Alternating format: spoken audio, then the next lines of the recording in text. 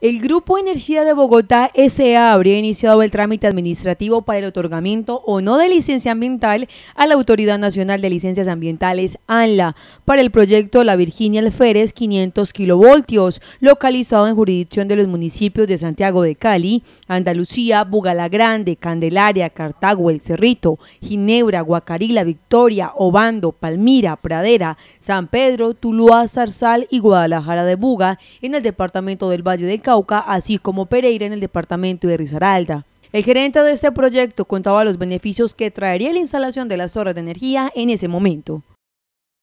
El proyecto sin lugar a dudas trae grandes beneficios para la región. Los primeros asociados con los temas eléctricos, pues lo que va a hacer es fortalecer el sistema eléctrico hacia la región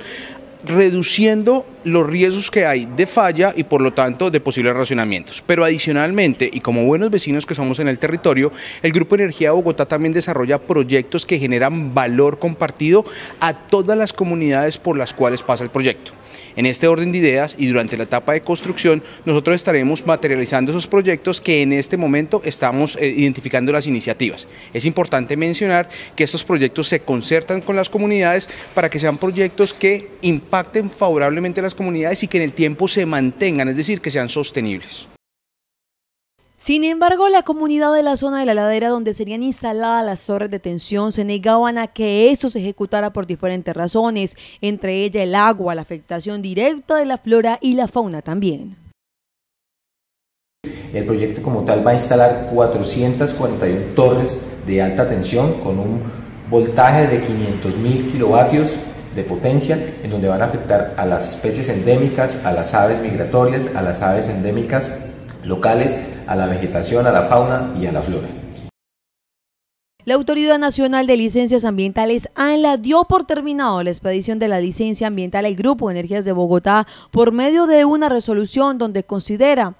una vez analizado el recurso de reposición contra el auto 8388 del 1 de octubre del 2019 y los argumentos presentados por la sociedad Grupo Energía Bogotá SA mediante comunicación con radicación 2019 168350 del 28 de octubre del 2019, se concluye que todos los requerimientos señalados como incumplidos dentro del auto se mantienen en dicha situación, debido a que fueron confirmadas a través del concepto técnico 1 del 2 de enero del 2019 las deficiencias, incoherencias y discrepancias de información en la definición, delimitación del área de influencia directa, abiótica, biótica y en consecuencia fisiobiótica en la caracterización ambiental, demanda, uso, aprovechamiento y afectación de recursos naturales y en la valoración económica ambiental, lo cual conduce a esta autoridad nacional a no poder adoptar una decisión diferente a la motivada en el auto 8388 del 1 de octubre del 2019,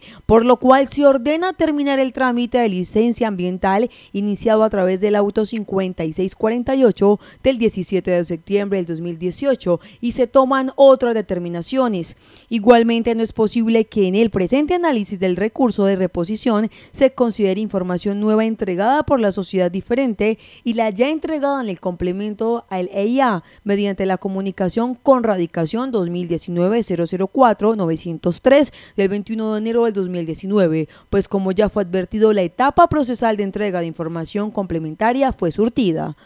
La comunidad en general y también diferentes asociaciones del medio ambiente celebran esa decisión por parte de la Autoridad Nacional de Licencias Ambientales.